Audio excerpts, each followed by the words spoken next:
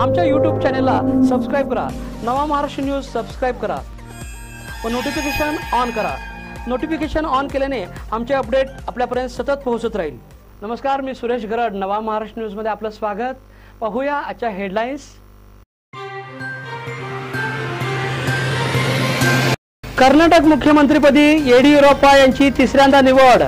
आज झाला शपथविधी. बहुमत सिद्ध करण्यासाठी आता पंधरा दिवसांची मुदत.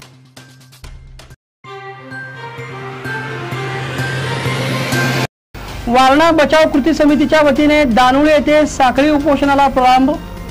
खासदार राजू शेट्टी आमदार उल्हास पाटील दत्तचे चेअरमन गणपतराव पाटील शरदचे चेअरमन डॉक्टर राजेंद्र पाटील यड्रावकर आमदार डॉक्टर मिंचेकर यांच्यासह मान्यवरांनी दिला पाठिंबा.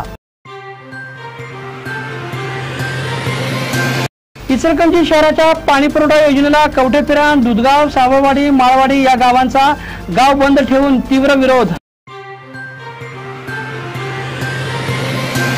वादळी वाऱ्याने घराची भिंत पडून खटाव येथील शंकर सेडुरे या शेतकऱ्याचा जागीच मृत्यू. इचलकंजीला वारणेचे पाणी मिळावे म्हणून साखळी उपोषणाचा तिसरा दिवस. पंधरा मे पासून चक्री उपोषण सुरू. जे जे मखदूम अभियांत्रिकी महाविद्यालयातील तीनशेहून अधिक विद्यार्थी किर्लोस्कर कंपनीच्या कॅम्पस इंटरव्ह्यूला दाखल. आणि राज्यातील रस्ते विकासावर लक्ष केंद्रित.